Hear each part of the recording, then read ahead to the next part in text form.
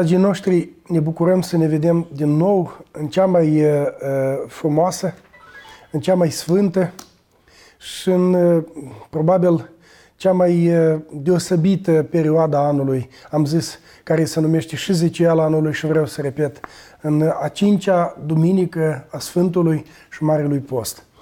Uh, încă o dată vreau să știți că atunci când vorbim de post, vorbim de un timp pe care Biserica ne roagă să-l deosebim sau să-l sfințim noi. Sfânt pentru că noi ne sfințim. Sfânt pentru că Dumnezeul nostru este sfânt și El, Cel care ne-a zidit, Cel care ne-a adus din neființă la ființă, vrea ca noi în această perioadă a Sfântului Post să ne deosebim sau să fim așa cum ne-a creat, cum ne-a zidit și până la urmă cum ne-a pus în această lume El, după chip și cât e posibil și după asemănarea noastră. Deci a cincea duminică din Sfântul Post, Biserica după triod, pentru că noi ne-am înțeles cu dumneavoastră, că o să vorbim de două feluri de cinstiri sau de trăire în perioada Sfântului Post după Evanghelie, după Evanghelia din duminica respectivă și după triod, după Cartea Apostolului, care închipuie, deci, trăirea sau direct de acum, consfințirea noastră în această sfântă perioadă. Deci, după triod, după Cartea Apostolului, astăzi, noi prăznuim deosebit pe Sfânta Maria eh, din Egipt sau egiptean ca numită. Cea care știți că după viața ei eh, a fost deosebită sau întocmai cu îngerii, cum a văzut-o cu Iosul Zosima, că era în timpul rugăciunii ridicată de la pământ și apoi mergând pe apele Iordanului. Știți că, de fapt, viața unui sfânt, mai cu seamă, atunci când el spomenește în perioada Sfântului Post, când o duminică, care știm ce înseamnă pentru noi duminica, că totuși rămâne duminica ziua Domnului sau ziua Învierii, ziua veacului ce va fi, ziua când noi toate le lăsăm într-o parte și în mod deosebit Cinstim pe acel care pentru noi oamenii și pentru a noastră mântuire s-a întrupat Dumnezeu fiind și ne-a izbăvit din păcat, blăstem și veșnica moarte. Dar biserica rânduiește să ne arete și un model a unui sfânt. Nimeni dintre noi nu poate să zică în perioada aceasta că trăiește după viața Sfintei Cuvioasei Mariei Egiptenci. Dar pentru că noi în perioada apostolului tindem totuși după un model de viață, după un chip. Fă ca mine, zice tata, fă ca mine, zice mama fă ca mine învață în anul de botez. Sau, măi, fiul mai mic, fratele mai mic, să strădui să fie model sau după modelul fratelui mai mare. În felul acesta, biserica vrea să ne arete pe Sfânta Marie Egiptean, ca după ce în duminica trecută ne-a arătat pe Sfântul Anscăraru, cu înălțimea duhovnicească a scării lui, ca azi noi cu dumneavoastră să știm că dacă păcatele noastre într-adevăr vor fi ca o hrăciune, sau ca a Sfintei Cuvioasei mai, Maicii noastre, Maria Egipteancă. Dumnezeu ca zăpada livalbi. N-are Dumnezeu de pierdut pe nimeni. 47 de ani în pustie, această femeie a reușit să ajungă la starea sau la desăvârșirea îngerilor. Ea, vă închipuiți ce înseamnă pustiul Iordanului. Astăzi nu mai este așa cum era pe atunci, dar aici, în timpul acela, trăiau și lei ea nu avea nimic cu ea, nici bani care nu i-ar fi folosit la nimic în pustiul Iordanului.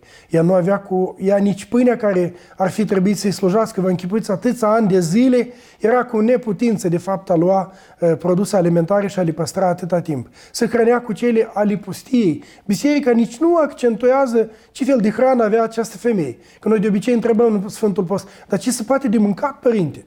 Mai ales acum când suntem istoviți de post, de rugăciune, Clar că noi am vrea să avem ceva care ne-ar, din hrană, care ne-ar face puternici, ne-ar face deosebiți și ne-ar pune în starea în care să ne vedem uh, ca în anii tinereții sau ca la puterile cele mai deosebite. Dar biserica vrea să ne facă puternici spiritual. De atât ne pune și acest model a cuvioasei Mariei Egiptenci.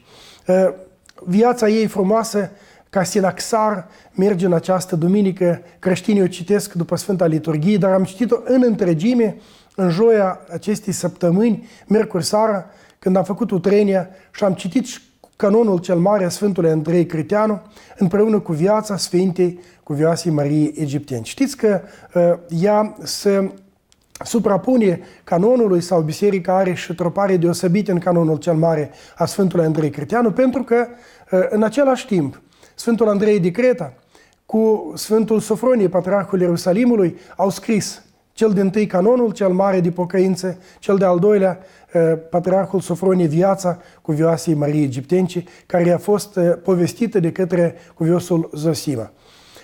Deci biserica aici, încă o dată, ne dă nedejde tuturor. Nu este păcat care nu l-ar fi iertat Dumnezeu. Dacă noi trăim conform acestei sfinte perioade, apostolului și a rugăciunii. În sâmbăta acestei săptămâni, noi am făcut acatistul Preasfintei Născătoare de Dumnezeu, numit al Bunei Vestiri. Am adus laudă Maicii Domnului. Pentru ca, încă o dată, întăriți fiind, așa cum biserica rânduiește, să nu slăbim deloc în rugăciune. Întâi ne-a adus la mijlocul postului lemnul Domnului, crucea, sceptrul împăratului ceresc. Iată cine este cel pentru care voi aveți să vă trudiți sau cel pentru care voi aveți să vă istoviți. Aveți să duceți jertfa voastră a trupului și a, a patemelor și a, a păcatelor voastre. Jertfa atunci când vă restigniți împreună cu Hristos, că ați acceptat acest sceptru după ce v-ați botezat. Cel care vine după mine să-și ia crucea să-mi urmeze mie, Hristos Mântuitorul zice. O să auzim și Evanghelia, același lucru învățând. Și mai departe și ne apreciază cine suntem în lumea aceasta, noi purtătorii de cruci. Apoi, acum vorbim, am vorbit de, de acum de Sfântul Ioan Scărar, acum vorbim de Sfânta Marie Egipteancă. Și numai decât în sâmbăta acestei săptămâni și de acatistul extraordinar, prin care Biserica ne arată și o numește pe Maica Domnului ca conducătoarea oștilor, acelor care se uh, răstignesc cu postul și cu rugăciunea Domnului Hristos. Ea fiind conducătoarea noastră, ea ne duce de mână, ea ne arată uh, biruința, urmați mie, așa ne-a arătat Hristos Mântuitorul pe ea, ca o mama noastră uh, uh, la Sfânta Cruce, când uh, ne-a înfiat în fața Sfântului Apostol și Evanghelist Ioan Teologul.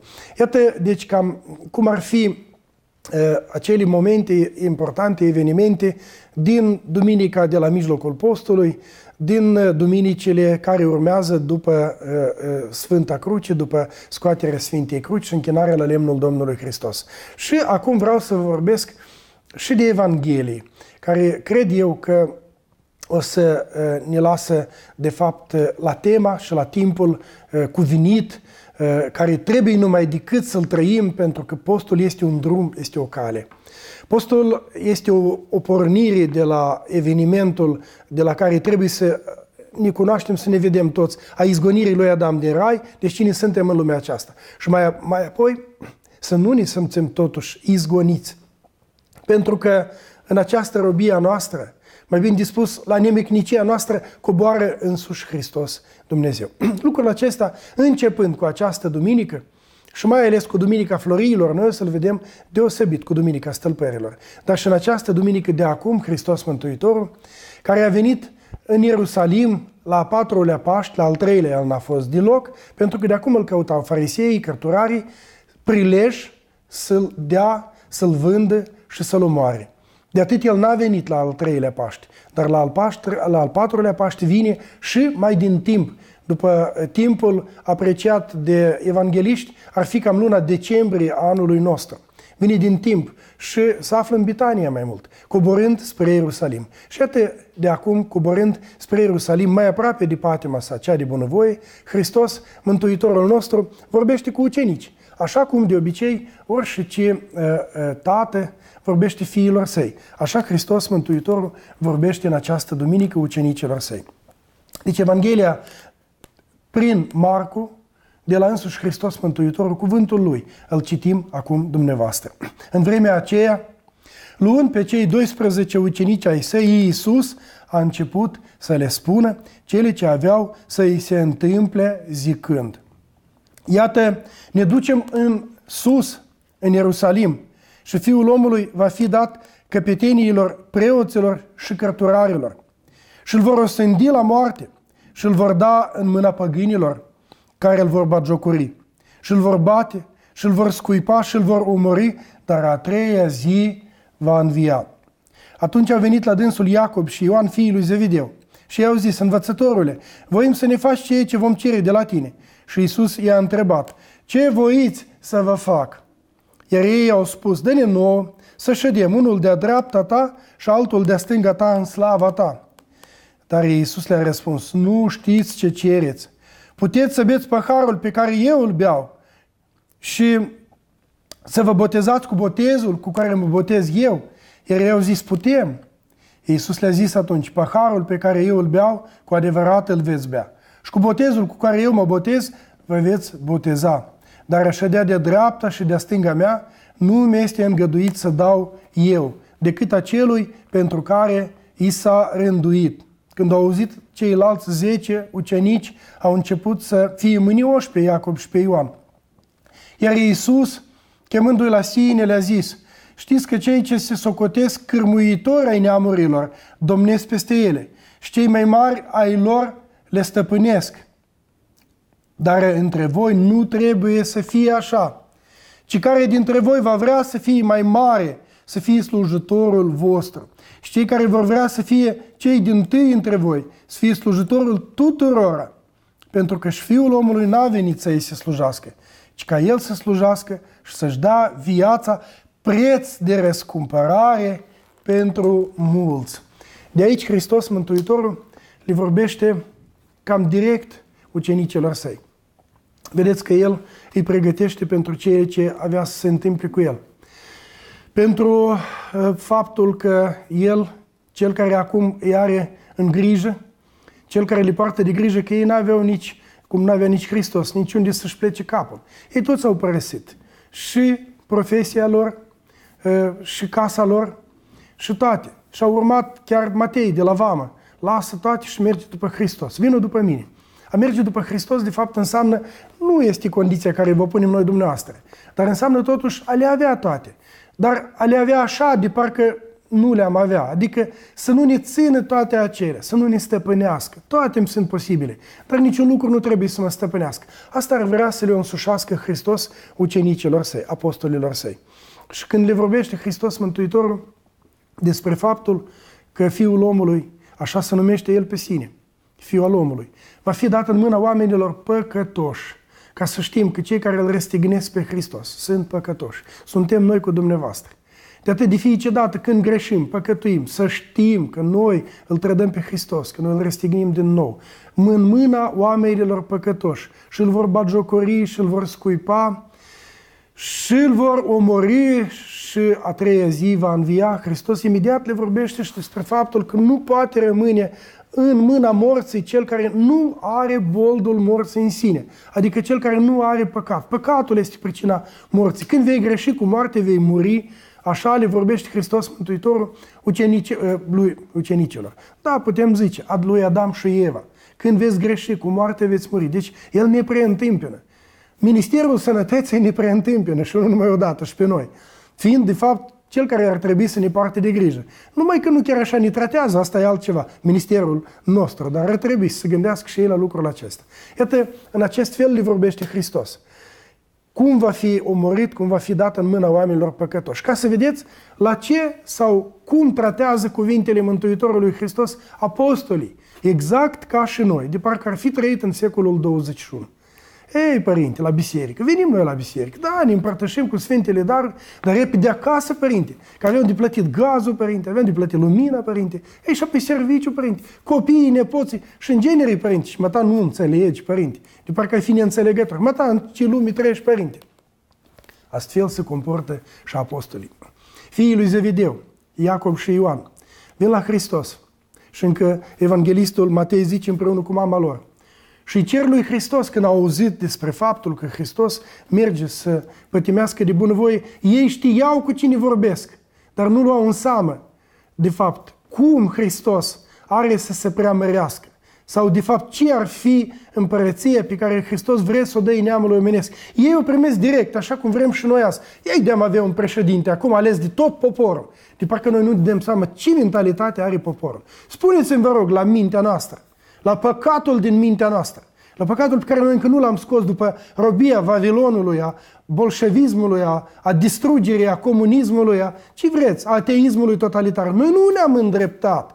Eu vă spun că cel care stau la scaunul spovedanii, la noi mintea noastră este tot aceeași. Noi de la Hristos vrem ca Iacob și Ioan. Dă-ne nouă când tu vei veni într-o împărăție ta să stăm unul de-a dreapta și altul de-a stânga Și mama lor tot așa le cere, Doamne, hai fene, pentru că erau șerudi după trup cu Hristos. Și între ceilalți ucenici, zice Evanghelistul Matei, s-a făcut price. Dar de ce ești și nu noi? Dar noi, Doamne, ce nu cumva eu să fiu mai într-o parte decât uh, Iacob și Ioan? Nu cumva eu am să fiu um, mai la spate sau mai într-o parte? Deci s-a făcut price. Zarvă, zarvă, așa cum se face de obicei cu un lider politic care până la urmă, vedem și noi cu dumneavoastră, că nu rezistă mult timp. Iată, la noi în Moldova, cam un partid politic cu toată bogăția, averea și politic, rezistă la vreo 8 ani de zile, nu mai mult. Deci cam urmăriți ceea ce vă spun eu. Că eu de-am trăiesc în țara asta o leacă de timp, pot vorbi în felul acesta. Iată cum l-au primit și pe Hristos, cum primim și noi cu Dumnezeu. La biserică vrem să ne meargă la business, cum sfințesc unii în ziua de Paște, dolarii, scot, părinți, stropește, te rog, să meargă și scot mese, obiectul de meserie, de parcă în ziua Paștelui Hristos Dumnezeu. Cam exact ceea ce cere azi Iacob și Ioan facem și noi la Paște. Ce sfințim noi la Paște, dumneavoastră știți noi, de acum anticipăm lucrurile. Noi sfințim poamă nouă în gură veche. Mâncarea care nu am mâncat-o 40 de zile. Brânza, ouăle, laptele, mielul, care simbolizează mielul cel nevinovat pe Hristos Dumnezeul nostru pregătit cu ierburi amare pentru că simbolizează amărăciunea care a, a, a răbdat-o Hristos pentru noi. De atât avem ierburile cele amare alături de mielul Paștelor. De fapt, medicii zic că e foarte bine, că anume așa trebuie mâncată carnea, mai ales pentru cei care am postit, am ajunat, adică nu am folosit carnea în mâncare atâta timp. Iată ce sfințim noi la Paște. Și cozonacul numai decât, care semnifică trupul înmirezmat al lui Hristos. Frumos cu lumânare din ceară aprins asupra lui, Iată, asta, dăm oul cel roșu, știți că este viața din mormânt. Dar uh, unii altceva vor să facă. În felul acesta Hristos le zice lui Iacob și Ioan și ne zice și nouă. Ce vreți voi să vă fac? Deci, voi nu știți, nu înțelegeți. Uh, uh, voi puteți să beți paharul pe care îl beau eu. Voi puteți să vă botezați cu botezul cu care mă botez eu. Ce înseamnă botez? Baptizo înseamnă scufundare. Înseamnă îngropare. Noi, în taina Sfântului Botez, ne îngropăm împreună cu Hristos într-o moarte, zicea Apostolul Pavel, ca să ne facem părtași și învierii Lui. Trebuie să ne amintim acum, pentru că perioada Apostolului mai este și pe perioada când creștinii se pregăteau pentru botez, cei nebotezați, cei maturi. Era o perioadă de catehizare, adică de tâlcuire a credinței în Hristos. Și e cea mai perfectă pentru, și pentru noi cei botezați, pentru că noi nu ne-am catehizat, pe noi ne-au botezat mici copii. Cu păreri greu, pentru că noi până acum venim și ne îndreptăți. Dar eu nu-s vinovat minimul botezat când eram mic. Păi stai frate, ce vinovat? Tu nu ești nici vinovat că te-a născut mama, că te-a născut tot mic. Mama trebuie să te nască cel puțin prim-ministru sau măcar un deputat în Parlament deodată. Probabil cu mandat de deputat. Și atunci erai cineva. Clar că mici ne-am botezat, dar în anii de botez, cu păreri de rău, să secretar de partid sau candidați în deputat sau altcineva și să ascundeau nu cumva să îi vadă la biserică și nu ne-a mai dat niciun fel de educație. Noi acum revenim, iată, perioada Sfântului Post nu ne oprește la stomac, am zis încă o dată. E o mare prostie, Triodul zice în asta duminică, când noi ne oprim numai la mâncarea trup, adică la ale trupului până la urmă. Pentru că de acum el mai slăbește și începe mai ne gândi la el. Dar vrea biserica să ne vadă trez, întrezvie duhovnicească, ca pe Iacob și pe Ioan. Să nu gândim ca ei pământește, să nu vrem slavă de la Dumnezeu. Doamne, nu-mi trebuie bunurile materiale. De ce nu-mi trebuie? Pentru că Tu ai să mi le dai numai decât când? Când eu caut mai întâi împărăția Ta și dreptatea Ta. Așa zice Evanghelia. Căutați mai întâi, Hristos zice, ă, dreptatea lui Dumnezeu și adevărul lui. Și celelalte toate se vor însuși vouă. Nu ne îndoim deloc, că dacă urmăm lui Hristos, ca femeie mironosiță, Maria Magdalena, până la mormânt, prima s-a învrednicit al vedea pe Hristos înviat și apoi și ca și acești apostoli care răspund, Doamne, putem să ne botezăm cu botezul care Tu te botezi, neștiind ce vorbesc. Că ei vreau să-și dobândească scopul. Cum zicem noi, luboiță noi. N-am avut deputați care au dus și icoane, făcătoare de minuni de peste hotare și cu moaștele încă. M-au întrebat Uh, acei policini. Nu vrei, părinți, și mă da să primești icoana aceasta. Din mâinile tale, frate, nu. Tu nu te amestica, nu amestica Harul lui Dumnezeu cu tărița, fratele.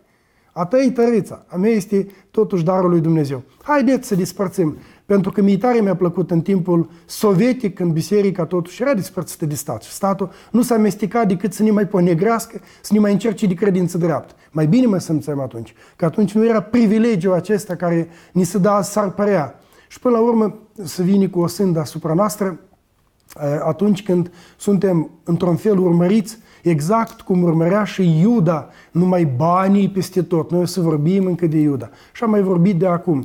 O să vorbim în săptămâna patimilor. Că de fapt asta e problema principală. Lăcomia. Vai, iubitorule de arginți, va zice troparul uh, în săptămâna Sfintelor Patim lui Iuda, vai iubitorule de arginți, pentru că anume pentru acești bani te-ai făcut vânzător de Dumnezeu, te-ai făcut vânzător de Hristos. De și a aruncat el, dar nu s-a pocăit până la capăt, că atunci când ne pocăim, trebuie să avem subiectul dragostei noastre, pe Hristos. Iuda l-a exclus pe Hristos ca pe icoană din fața lui. Petru nu, chiar dacă s-a lipărat de trei ori, dar nu l-a exclus. Iată Petru și Ioan acum. Îl văd pe Hristos ca pe un împărat pământesc. Să nu-L vedem așa noi. Să nu-L vedem ca pe Cel care ne poate da bunurile materiale numai. Haideți să-L vedem totuși altfel pe Hristos.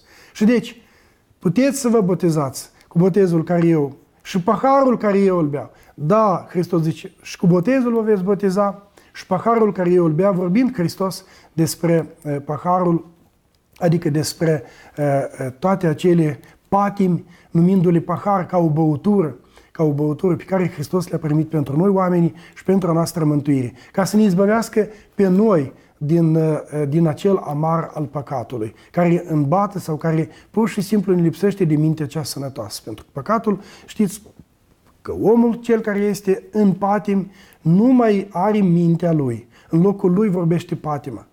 Omul pătimaș nu se uită la o femeie ca la o frumusețe zidită de Dumnezeu, dar se uită, mai iertați, ca la o desfrânată, ca la o curvă. Urmărește cu totul altceva. El nu mai vede banul ca un mijloc de binefacere, de milostenie, ca cei care se uită la biserică și uite, ăștia au bani, uite cum dă lumea când un leu, când zece. De fapt, în biserică, cam până la 10 se ridică cupiurile care se aduc. Celelalte se duc la restaurante și la sălile de distracție mai mult și la cazinouri. Dar în biserică, și cred că în raia și numai de un leu și poate și unul de 10, restul toate în, în altă parte se duc. În felul acesta, omul cel împăcat gândește. Mintea lui, euul lui este înlocuit cu patima. De acum, cine cui slujește, zice uh, Scriptura, la acela este rob, este robit de păcat. Iată, atunci când tu te-ai dezrobit, asta vrea Hristos, atunci noi ne-am, ne-am dezrobit de păcat. În felul acesta, Hristos Mântuitor vrea ca aceștia doi apostoli și noi cu dumneavoastră să vedem altceva astăzi în fața Lui. Ce să vedem? Pe cine să vedem? Pe acel care este cu adevărat Fiul lui Dumnezeu, pe acel care pentru noi oamenii și pentru a noastră mântuire s-a întrupat dacă zicem că a avut nevoie de ceva Dumnezeu atunci când a primit firea noastră omenească, a avut nevoie numai de mine păcătosul. Mie sete pe cruce a zis numai de sufletul lui Iuda, care atunci se spânzura, dar și de sufletul meu atunci când greșește, mie sete Hristos zice. O, neam necredincios, până când voi fi cu voi. Uitați cât de frumos. Neam necredincios până când voi fi cu voi. Deci Hristos este cu cei necredincioși cumva? Nu. Nu. Dar de ce voi fi cu voi? Deci El nu se disparte nici de ei. În ce măsură de ce este El cu dânsi? Dacă nu. În măsura în care n-are Dumnezeu de pierdut pe nimeni. În măsura în care mama pentru copilul îndărepnic stă de departe și se uită, nu-l părăsește. În măsura în care tatăl risipitor nu s-a dezis de fiul său cel mai mic, atunci când l-a văzut de departe. Deci totuși ne părăsește Dumnezeu cei care suntem în, greș- în greșeală. Nu ne părăsește.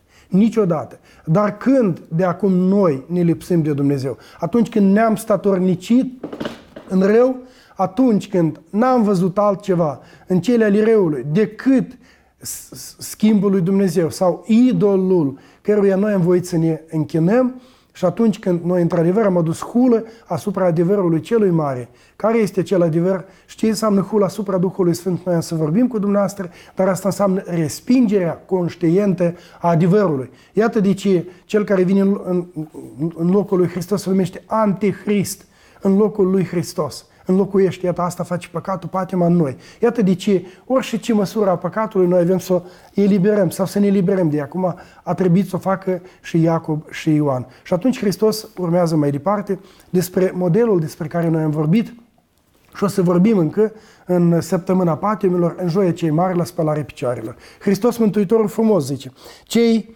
care vor să stăpânească cei ce socotesc, se socotesc cărmuitori ai neamurilor, domnesc peste ele. Deci cei care se socotesc cărmuitori domnesc peste ele, peste acele neamuri. Și mai departe el spune, cei mai mari ai lor, ai neamurilor, le stăpânesc. Cu adevărat. Dar voi nu așa, între voi să fie altă măsură a conducerii. Și care e cei conducere? Și uh, el zice, uh, între voi nu așa, ci cel de va vrea să fie mai mare, să fie slujitorul vostru. Iată cine sunt cei în biserică. Deci Hristos Mântuitorul nici de cum nu zice, de zice de funcția ta de preot, de zice de funcția ta de episcop, de deputat sau de primar sau nici într-un caz. Dar dacă vrei să fii mai mare, zice Hristos Mântuitorul, ce ai să faci? Să, să uh, slujești lor, să fii slujitorul lor. Și mai departe, el spune, și cei dintre voi care vor să uh, stăpânească neamurile, să fie slujitorul tuturora. Deci, în măsura în care te-a pus biserica, Dumnezeu însuși, să nu fie cumva altă măsură decât cea de dorință de slujire, de jertfelnicie, de dăruire. Preot, episcop, președinte, deputat sau primar sau cine ești tu. În măsura în care te-a chemat Dumnezeu nu cumva tu ți-ai luat acest loc. Ne zice Hristos Mântuitorul și despre acest loc să nu ocupi locul cel de cinste. Ca nu cumva venind cineva mai de cinste decât tine, să fii rugat, dragul meu, eliberează că uite omul ăsta e mai, cinste, mai de cinste decât tine. Ocupă la cel care prin oameni ți-l pune Dumnezeu înainte. Să nu te dezici de el. Cine vrea să fie episcop, zice Apostolul Pavel, dorește bine către tine. Deci înseamnă că dorința de a fi un slujitor sau mai mare e bună. Dar asta înseamnă că tu dorești să fii slugă celorlalți. Nu dorești să stăpânești în felul în care stăpânesc mai mari lumii acestea. Ei, cu, cu părere de rău, în majoritatea cazurilor, stăpânesc cu orgoliu, cu mândria. Dacă eu sunt șef, apoi tu nu ești șef. Dacă eu sunt nacealnic, tu nu ești nacealnic. Și lucrurile acestea în biserică nici de cum nu merg. De dacă când mă întreabă cineva, părinte, dar cine e aici la biserica Sfântul Dumitru mai mare? Eu recunosc că eu sunt pus de înalt preasfințitul. Uh, mitropolita uh, Vladimir și de către Hristos Dumnezeu prin trânsul. Și lumea m-a acceptat. Iată, eu, deci ce înseamnă? Sunt slujitorul vostru. E extraordinar de bine dacă am înțelege noi lucrul acesta. De eu când văd un deputat, eu vreau să-l văd până la capăt slujitor a tuturor. Dacă nu mai este divulgat că el nu și-a uh, arătat averea care o are și începe a ascunde ceva, vai, vai, vai, vai, vai de capul tău, frate, cine mai ești acolo? Dar mie, de exemplu, deloc nu mi rușine să spun ce am, pentru că tot ce am eu este din familia mea, este de la parohia mea, de la comunitatea mea. Ai vreo pretenție, nici de cum nu mă judeca. Treci la comunitatea Sfântul Dumitru și înceabă de ce Părintele Pavel are papuși, de ce Părintele Pavel are uh, șereturi și de ce Părintele Pavel nu are cușmă. Și o să vă răspundă parohia. Asta trebuie să o spună pentru noi, pentru toți, de exemplu, pentru un deputat poporul care l-a rânduit să slujească acolo. Dacă vă îndreptățește lumea în sensul, dacă acceptă lumea ceea ce aveți dumneavoastră, e bine. Dar dacă trebuie să ascundeți, vai de capul vostru și de steaua voastră. Și mai departe, Hristos Mântuitorul deci ne vorbește în această săptămână și de faptul că cei care vor vrea să fie întâi între voi, să fie slujitorii tuturor, am vorbit. Și ne, ne spune Hristos și de ce așa să fie. Pentru că și Fiul omului n-a venit să îi se slujească, ci ca El să slujească și să dea viața preț de răscumpărare pentru mulți. Deci uitați-vă până unde trebuie să meargă și slujirea noastră tuturor, să dea preț de răscumpărare pentru mulți. E minunat de bine când un pastor, e minunat bine când un tată în familie, când o mamă își pune viața pentru copii. De atâta uh, să zice după legea veche că atunci când, de exemplu, un uh, ostaș, un părinte, uh, n-a, dacă i s-a născut un copil, nu s-a înducit de el, măcar doi ani de zile nu lua la armată. N-are pentru ce lupta. Dar uh, dacă a sădit vii, tot așa. Dacă n-a scos radă și nu, nu a, s-a îndulcit din roada vii, să nu se ia la armată, că n-are pentru ce lupta, asta e patria lui. Iată, Hristos Mântuitor ne arată cum trebuie să fim noi slujitorii, dumneavoastră părinții, și toți cei care urmează calea apostolului și care vor de la Hristos Dumnezeu mântuirea. Acum vreau să dau răspuns la întrebările care uh, mi-au fost adresate în uh, această zi către dumneavoastră. Uh, Părinte Pavele, cum corect trebuie să pregătim un copil pentru taina spovedaniei. Minunat de frumos. Deci, până la șapte ani știți că copiii de obicei nu au păcat. De atât a se spovedi n-are sens. Eu când totuși un copil îndrăznește și vrea să emite pe tata, pe mama, dar spați și eu să mă duc la spovedanie. Eu zic, permiteți-le. Și ei vin și stau și se uită la nanu. Și eu îi întreb, spune-mi, te rog, tu o iubești pe mămica? Da, da, nanu, o iubesc. Și pe tăticul iubești? Da, îl iubesc. Dar pe cine mai tare? Pe amândoi. Dar dacă îmi spune numai pe unul, înseamnă că ceva nu-i corect duhovnicește în viața acestui copil.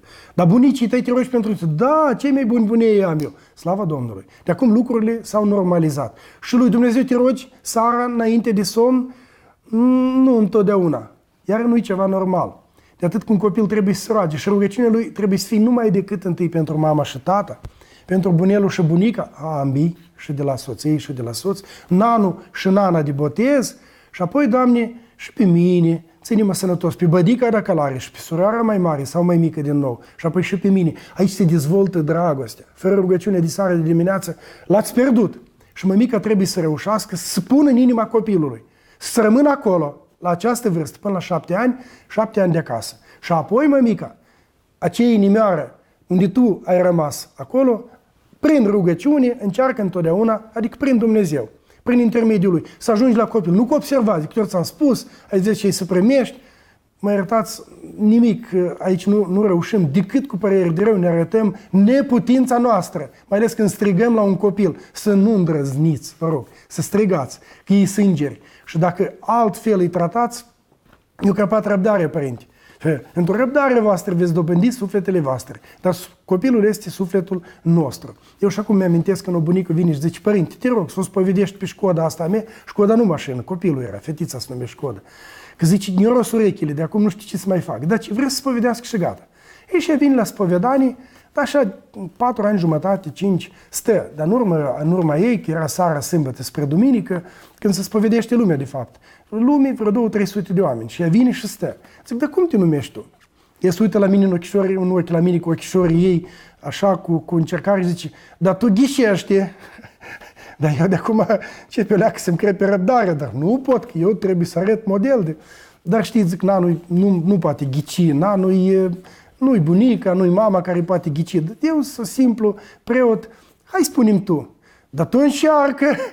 Zic, bunica, hai eu, te rog și vin mâine să mai stăm cu ea de vorbă. Dar mi-a plăcut fetița pentru că ea totuși vrea ceva deosebit de la, cred că eu spus mămica, că Nanu poate mult, poate face minuni. Nanu minuni nu face, dar încearcă Nanu cu ei să facă minuni. Iată, la șapte ani când vin prima dată la spovedanie, de aici sunt păcatele. Adevărul îl spune. Pentru părinți săraci, e cinstitoare de părinți, e cinstitor de părinți sau nu? De aici se începe. Și numai decât adevărul. Și apoi numai decât uh, lucrarea care trebuie să facă. Te ce clasa întâi. Cum învață ea la școală. Și rugăciunea. Sunt patru lucruri pe care dacă știi să le pună copilul la loc, Dumnezeu, tata, mama, rugăciunea și școala. Dacă le pune, fraților, înainte. Iată, acestea sunt lucrurile pentru care postul de mâncare ar să vie mai târziu, să vadă pe tata și pe mamă postind copiii. Nu îndrăzniți să-i săcătuiți cu mâncare, nici de cum. Și apoi cum să pregătesc copiii pentru împărtășanie, este altă întrebare care mi-a fost adresată astăzi. Cum mai corect ar fi? Deci, pregătirea lor pentru împărtășanie. Am zis, principalul copilul trebuie să conștientizeze că nu e, cum zicem noi, nieri îți dă nanu, nu, nu, nu, nu, nu, nici de cum. Nanu îți dă cel mai bun pe Dumnezeu. Vă rog. Vă rog, să știi că aici e Dumnezeu. Ce înseamnă Dumnezeu? Mâncarea cea mai bună.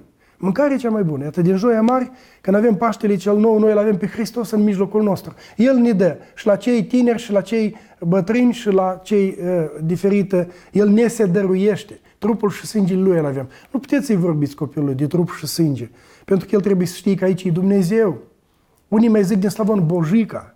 Să-l dă pe Bojica. Bun, bun tata, bun mama am, am, am luat pe Bojica, pe Dumnezeu l-am luat. Și acum mergem și luăm căldura, luăm anafora, iată, și, și trebuie să te comporți corespunzător, așa cum, de exemplu, se comportă tata, cum se comportă mama cu tine, așa tu trebuie să te comporți cu Dumnezeu.